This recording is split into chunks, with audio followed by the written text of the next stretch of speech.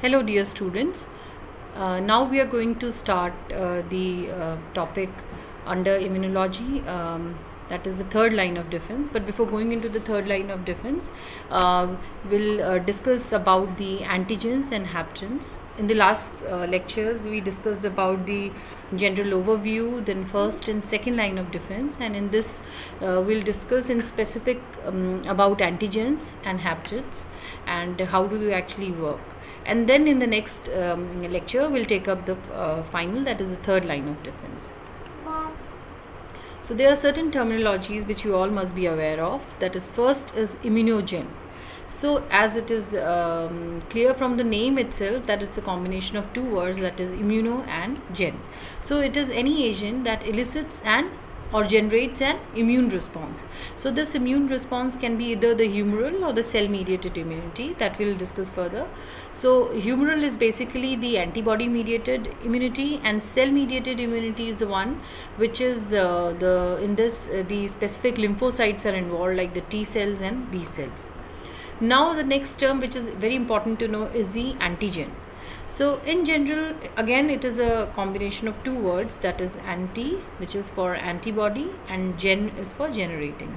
So or any component that generates the antibody they are known as antigens or um, now the another definition that has come up is that any agent that can bind to antibody b cell or t cell receptors they are known as antigens so but there is very important thing which has to be kept in, in mind that all the immunogens they are antigens but not all antigens are immunogens. So just keep this in mind. Immunogens are the one which generates the immune response whereas antigens are the one which bind to these antibodies b cells or t cell receptors so uh, now coming specifically to about the antigens, these are the chemicals that creates the immune response, but mainly they are involved in the attachment to the specific moiety uh, through which they actually generate the immune response. And most of these are actually the proteins large polysaccharides um, from the uh, foreign um, organisms. So these components uh, like from the microbial sources it includes their capsules their cell walls the toxins generated by them the viral capsids in case of viruses uh, flagella. Okay now whereas the non-microbial uh, sources of antigens are like the pollens egg white red blood cell surface molecules serum proteins and surface molecules from transplanted tissues. So all these components are actually uh, the one which are responsible for immune activation.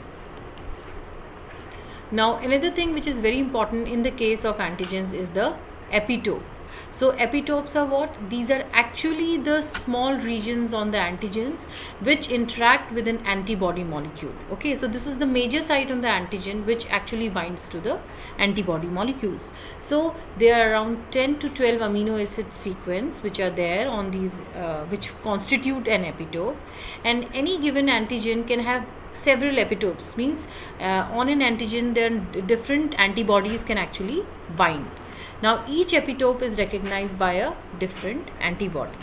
So uh, this thing is clear that the epitope is actually the major site on the antigen which is around 10 to 12 amino acid long and th this is the one which is actually uh, which actually binds to the antibody molecule. Now next you as you can see uh, over here this is a small depiction that how they actually look like.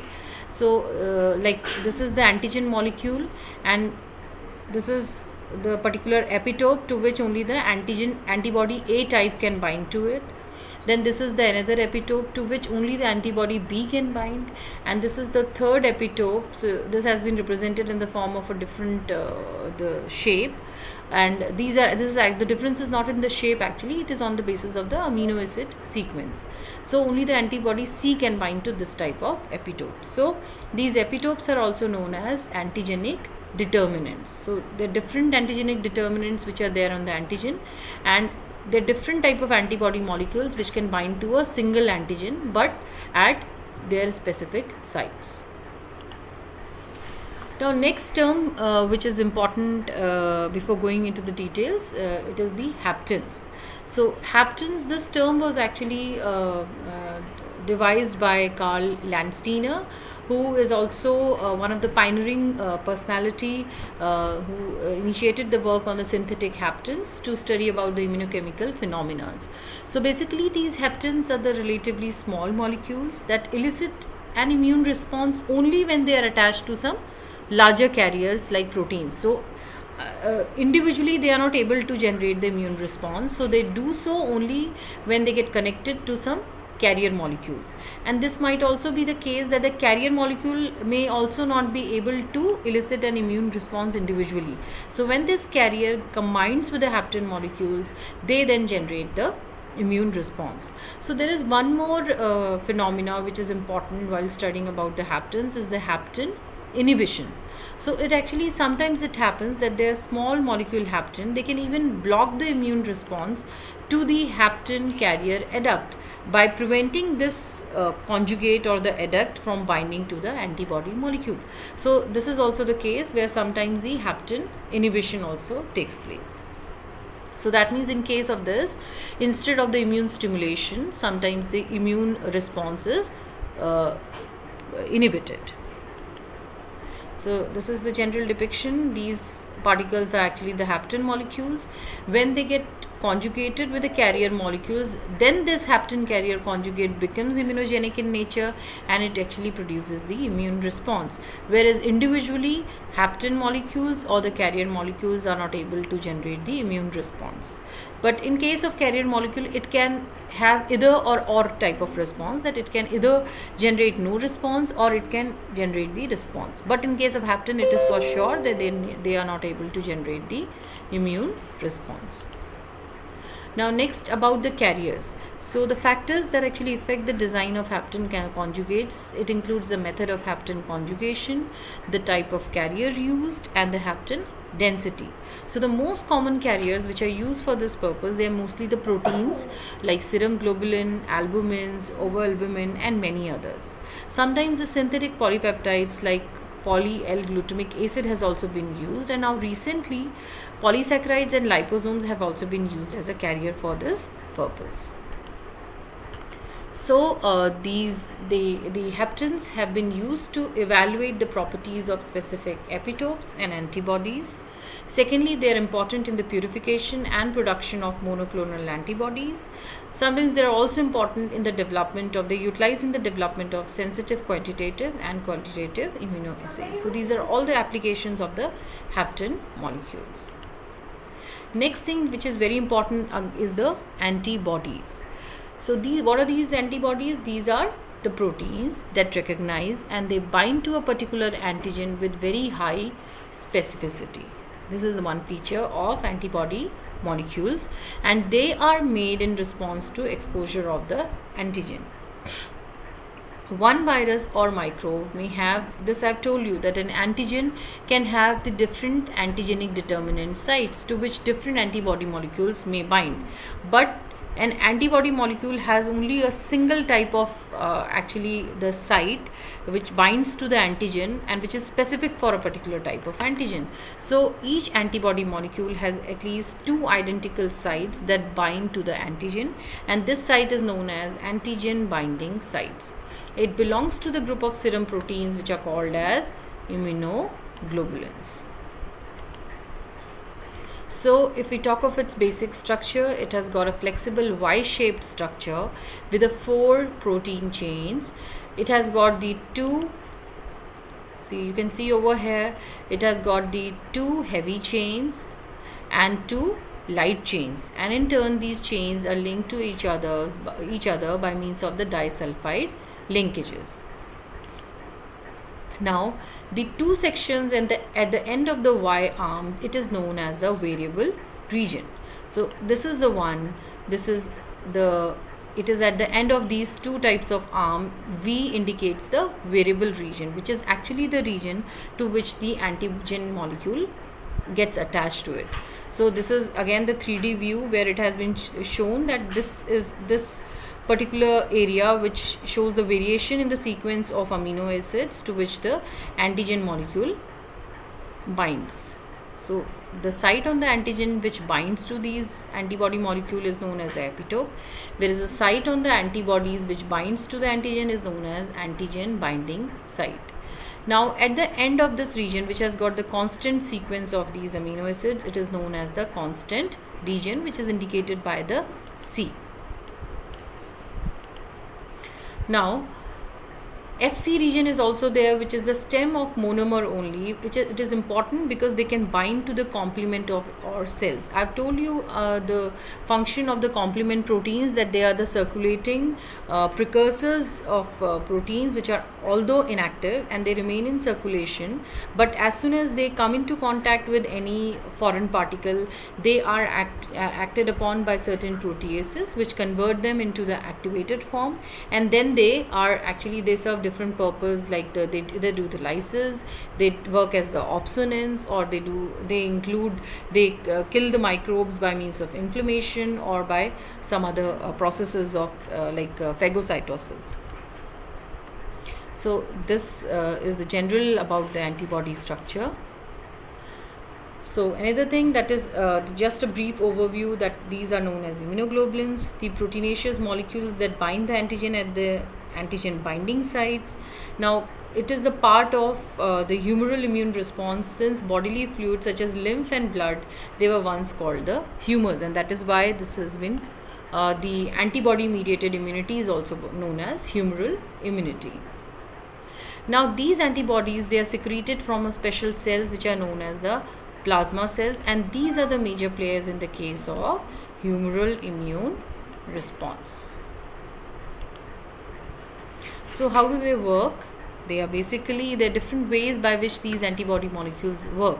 So the first is that they either work as opsonins. I've told you that the complement proteins uh, where they uh, they remain in circulation as inactive precursors, but as soon as they uh, come into contact with any such molecule, they adhere to its surface. Okay, so they they once they attach to its surface they are now easily recognized by the circulating macrophages which then engulf them and destroy them. Or they initiate the process by the process of phagocytosis. Some of them work as antitoxins. Now uh, what how what do these antitoxins do? They directly neutralize these um, anti uh, antigens by uh, releasing certain toxins which directly destroys them then some of them they attach to the bacterial flagella and thus making them less active. That is the effect is locomotion activity or uh, the um, or they are not able to then attach to the uh, the surface or the receptors uh, which is important for establishment of their activity. Some cause the agglutination that is they cause the clumping of the bacteria making them less likely to spread so these are the different ways by which the antibodies work, either as their opsonins or some of time sometimes they release uh, they work um, the as antitoxins. Sometimes they attach to the component which is important for its attachment to the host cell. Uh, then sometimes they work uh, they cause the agglutination. So there are different classes of uh, antibody molecules. The principal are five classes that is IgM, IgG, IgA, IgD and IgE and these all are classified on the basis of their structural uh, variations, immunological properties and the physicochemical properties. So IgA which is found in the mucous, mucus, saliva, tears, breast milk and it protects against the pathogen and it is its structure is somewhat like this it's a bivalent that is the two such antibody molecules are joined. IgD, which is a part of a B cell receptor, it activates the basophils and mast cells and it's a single uh, antibody molecule. Whereas IgE, which protects against the parasitic worms and it is responsible for allergic reactions and it is again the uh, the monovalent type of antibody molecule. IgG which is secreted by the plasma cells in the blood and they are able to cross the placenta into the fetus and this is the one this is the type of antibody molecule which is actually transferred from the mother to the fetus Now th- again this is a monovalent type. IgM uh, which may be attached to the surface of B cell or secreted into the blood. It is responsible for early stages of immunity and but this is the one which is pentavalent in nature that is five such antibody molecules are joined uh, to form this kind of floral structure. Now these are the other properties of antibody molecules. So the first important property is the affinity. And now affinity indicates that the strength of a single antibody or the antigen interaction. That is the affinity. Okay. So like you can see over here if this this indicates the IgG antigen, uh, IgG and the antigen interaction. Now they have the high affinity for the target because this this is the one case. Okay whereas avidity means it means the like this indicates which antibody molecule it is IgM antibody molecule. And this has got the five ends to bind to the antigen molecule. Now avidity is basically the strength of all the interactions combined. Like all the ends they will like this end the this end. All these flanging ends of the antibody molecules which will bind to the antigen molecule. So they might have the low affinity but they have they in case of this because it has got 10 binding sites it will have the high avidity. So it the avidity basically depends on the number of identical uh, binding sites on the antigen being detected.